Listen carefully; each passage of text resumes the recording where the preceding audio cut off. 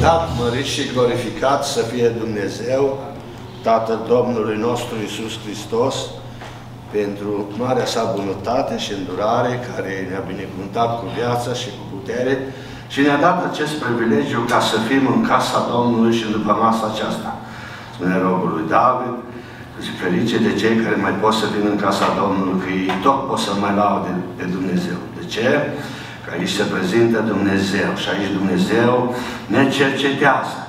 Și pe cei care sunt puși jos prin anumite încercări și probleme, Dumnezeu îi ridică, îi întărește, îi dă putere, înțelepciune, ca să poată să slujească lui Dumnezeu mai departe. Avem un vrăjmaș puternic care se luptă cu noi în fiecare zi și caută, dacă va fi cu putință, să înșele chiar și pe cei aleși.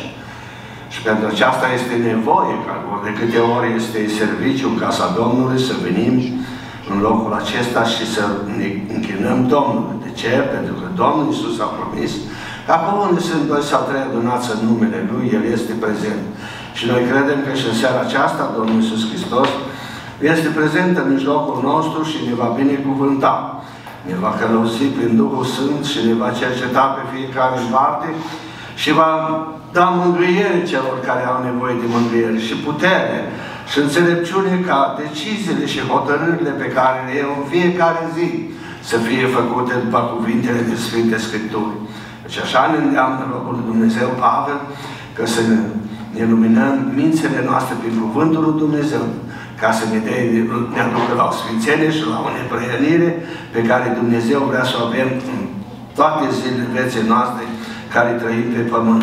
Pentru aceasta voi citi câteva versete în Psalm de aici și vom merge înaintea Domnului și vom mulțumi Domnului. Și vom cere ca prezența sa să fie simțită de fiecare.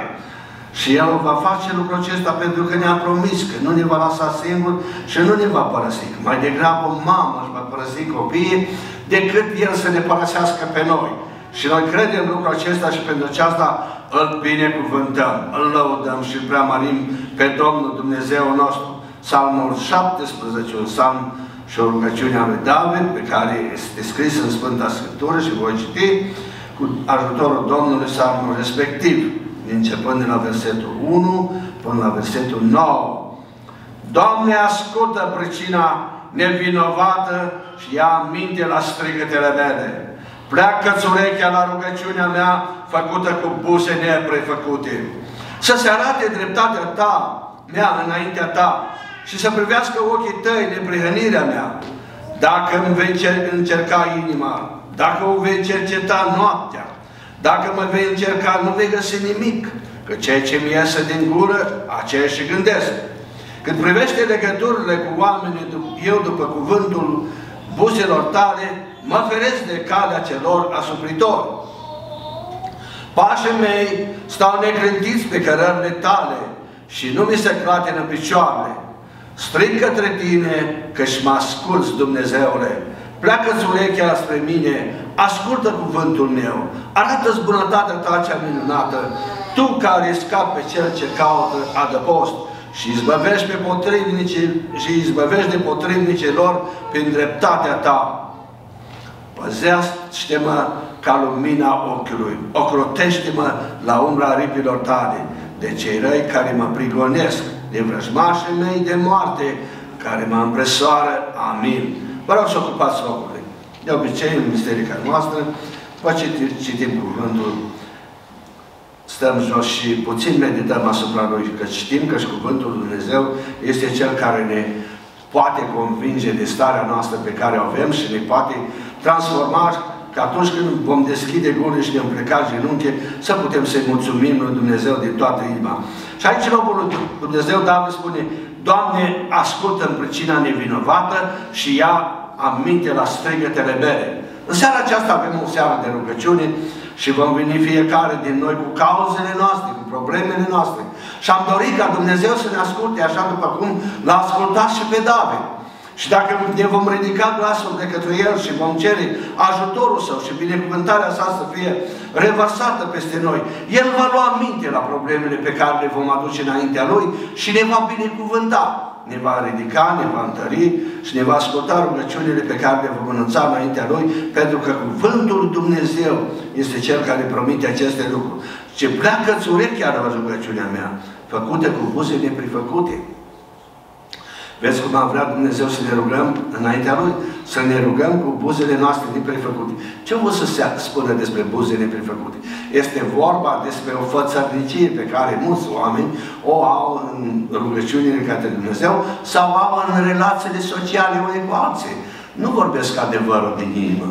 Vorbesc doar de pe buze după placul celor din jurul lor ca să le audă, să le placă și să-i aprecieze. Dar David spune aici că rugăciunea lui e făcută cu buze neprefăcute. Și am vrea să învățăm în seara aceasta din cuvântul nostru lui Dumnezeu și noi atunci când ne rugăm Domnul și când în relațiile noastre unii cu alții, să nu avem uh, pe buzele noastre pe făcătorie, să nu fim fațarni și să fim Așa cum spune cuvântul lui Dumnezeu, care a spus chiar și Domnul Iisus Hristos și a spus și Pavel, că da vostru să fie da și nu, nu. Ce trece peste aceea nu vine de la Dumnezeu, este de la vrăjbașul. Pentru că Dumnezeu, zice în capitolul 2 din 2 Corinteni, este da și amin, ceea ce spune și face. Și mulțumim lui Dumnezeu pentru că El este un Dumnezeu așa de minunat. Dacă îmi vei încerca inima, dacă voi cerceta noaptea, dacă mă vei încerca, nu vei găsi nimic. Că ce mi iese din gură, aceea și gândesc. Ce lucru minunat! Ceea ce iese din gură, aceea și gândește. Aceea este în inima Lui. Și Dumnezeu aceasta aș vrea să vadă de la noi.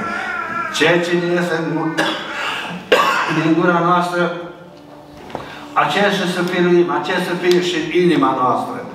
Și știu că Cuvântul lui Dumnezeu care are putere să facă lucrul acesta în viețile noastre. Dacă ne vom îndrepta inima și gândul și mintea după Cuvântul lui Dumnezeu, vom ajunge să spunem și noi ca și robul lui Dumnezeu David, că ceea ce îmi iese din gură, aceea și gândesc.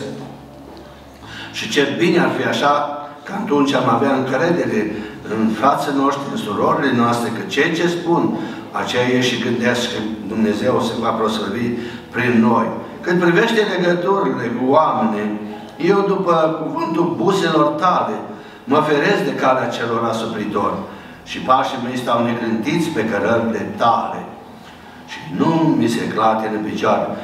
Ce, ce minunat spune aici robul lui Dumnezeu David? Cât privește legăturile cu oamenii, eu după cuvântul buzelor tale, după care cuvânt a buzelor lui Dumnezeu s-a îndreptat robul lui Dumnezeu David? Cuvântul care a fost scris în Sfintele Scripturi a fost vorbit de Dumnezeu prin Duhul Sfânt și inspirat prin oamenii care au scris în Sfintele Scripturi. În seara aceasta, robul lui Dumnezeu David spune lucrurile acestea pentru că el era un om neprihănit, era un proroc, era un împărat, un om cu vază, dar Dumnezeu l-a iubit foarte mult și l-a călăuzit și l-a trecut biruitor prin multe războaie și prin multe încercări și prin multe lucruri și suferință a trecut în viața lui. Că dacă ne uităm în Sfintele Scripturi, sunt așa de multe salme unde robul lui Dumnezeu se exprimă desperarea și în suferințele și în greutățile și necazurile pe care trecea. Și cred că Dumnezeu l-a întărit și l-a ascultat și nu l-a lăsat ca să fie doborit de vrăjmașul Strig către tine, căci mă asculți, Dumnezeule. Auziți ce plin de încredere spune El. Strig către tine, pentru că mă asculți, Dumnezeule. Și tu, dacă în seara aceasta să vei îndrepta glasul și vei striga către Dumnezeu în rugăciunea care ne vom pleca și vom face, trebuie să fii de plin încredințat că Dumnezeu îți ascultă cererea. Și Dumnezeu ia aminte la problemele tale și la suferințele tale și la necazurile tale pe care treci. Pentru că El este acela care ne iubește, așa după cum spune cuvântul lui Dumnezeu, cu o dragoste veșnică. Și când iubești pe cineva din toată inima ta, atunci să știi că tu n-ai să-i faci la o persoană respective. Dragostea noastră față unii de alții se poate schimba. Este o dragoste condiționată. Și chiar dragostea dintre un soț și o soție este o dragoste condiționată. Dar între tată și copil, sau mamă și copil, nu este o dragoste condiționată. Mama e în stare să-și dea viața pentru copilul acela. Și tata la fel, e în stare să-și dea viața pentru copil. Poate că nu toți tații, dar majoritatea taților sunt în stare să-și dea viața pentru copilul său, dacă îl vede că trece prin suferință și prin necazuri și greutăți și caută să-l izbăvească și să-l ajute. Și aici robul Dumnezeu credea că Dumnezeu îl va ajuta și Dumnezeu l-a ajutat, binecuvântat să fie numele tău, numele său. Arată-ți bunătatea ta cea minunată, tu care scapi pe cei ce caută adăpost și izbăvești de potrivnicii lor prin dreapta ta. Arată-ți, arată-ți bunătatea ta cea minunată, spune robul lui Dumnezeu David. Tu, tu Dumnezeule care scapi pe cei ce caută adăpost la tine și izbăvești de potrivnicii lor prin dreptatea ta, Dumnezeu poate să te scape și pe tine.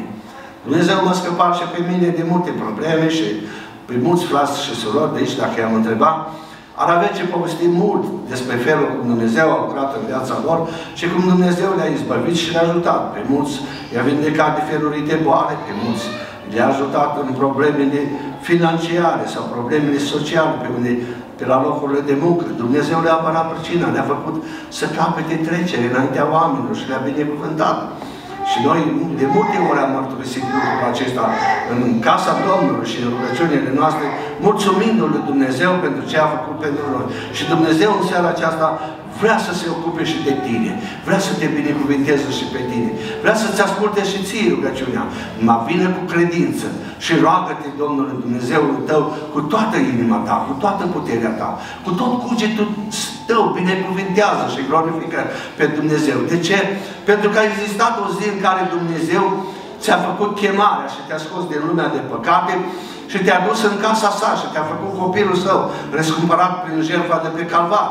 Noi nu mai suntem cei ce am fost înainte de a veni la pocăință. Noi suntem fii și fiice ale Dumnezeului celui preanalt. Și pentru că suntem fii și fiice ale Dumnezeului celui preanalt, avem toată încrederea că atunci când venim înaintea lui Dumnezeu, Dumnezeu ne binecuvintează și ne ascultă. Și eu zic, Dumnezeu să fie proslavit pentru aceasta și binecuvântat pe vecie. El și-a întins mâna și m-a mâna de sus și m-a apucat. M-a scos din apele cele mari, din încercările cele mari. M-a izbăvit de potrivnicul meu care era mai puternic decât mine. De aceea voi lauda și voi preamări pe Domnul în toate zilele vieții mele, spune robul Dumnezeu David. De aceea, pentru că Dumnezeu s-a îndurat de el, l-a izvăluit, l-a binecuvântat. El vine în încheiere cu mulțumire înaintea Domnului și îl binecuvintează și mulțumește. Și noi vom avea aceeași posibilitate în seara aceasta ca să venim cu mulțumirile noastre. Pentru că Dumnezeu ne-a binecuvântat, ne-a izbăvit de multe suferințe, de multe necazuri și dureri. Și astăzi putem să stăm bucuroși înaintea sa, să-i glorificăm și să-L premărim. Iar acei care încă nu au fost izbăvite, Veniți cu încredere înaintea Domnului, că Domnul poate să vă dea izbăvirea chiar în seara aceasta și binecuvântarea sa, pentru că pentru El niciun lucru nu este prea greu, prea mare și niciun lucru prea mic ca să nu ia aminte. El ia aminte la toate rugăciunile și cererile noastre care le ducem ori de câte ori le ducem. Și cred că și în seara aceasta El ne va binecuvânta pe fiecare. Slăvit să fie numele Domnului în veci de veci și glorificat. Haideți cu toți să ne plecăm pe genunchi și să mulțumim Domnului pentru că ne-a ajutat până aici și să rugăm ca Dumnezeu să lasă pe Duhul Sfânt în adunare ca să ne cerceteze, să ne mângâie și să ne ridice așa cum El dorește ca să, să fim. Amin.